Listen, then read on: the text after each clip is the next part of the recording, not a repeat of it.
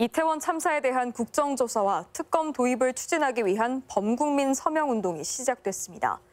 민주당 전북도당은 오늘 오후 익산시 무학로 사거리에서 범국민 서명운동 발대식을 갖고 이태원 참사의 진상규명을 위해서는 국정조사와 특검 도입이 필요하다고 강조했습니다.